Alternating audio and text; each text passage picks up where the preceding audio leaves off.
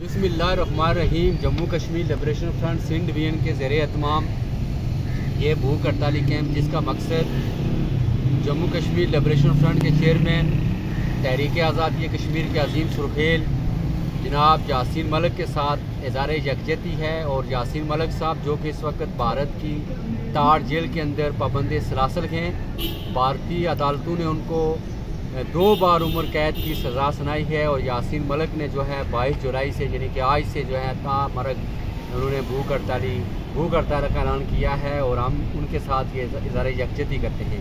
अब सवाल ये पैदा होता है कि यासिन मलक ने वो कौन सा जुर्म किया, जिस जुर्म की सज़ा उनको आज दी जा रही है? यासिन मलक वही ने, जो जुर्म, वही जुर्म किया जो भगत सिंह ने किया था, जो कायद अजम मोहम्मद अली जना ने किया, जो गांधी ने किया यासिर मलिक रियासत जम्मू कश्मीर के मजलूम महकूम आवाम की हक आज़ादी के लिए हक आज़ादी के लिए जो और इस हम ये चाहते हैं कि अकवाम आलम और बिलखसूस इंसानी हकूक़ की आलमी तनजीमें जो हैं वो जो है इसमें इंटरफेयर करते हुए यासिर मलिक की रिहाई में अपना किरदार अदा करें।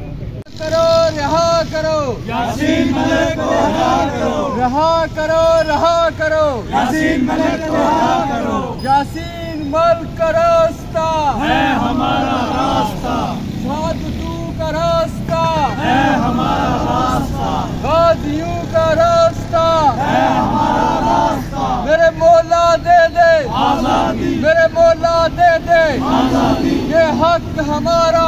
आज़ादी। ये हक हमारा। आज़ादी। कश्मीरी मांगे। आज़ादी। जम्मू में लेंगे। आज़ादी। जफराबाद में लेंगे। आज़ादी।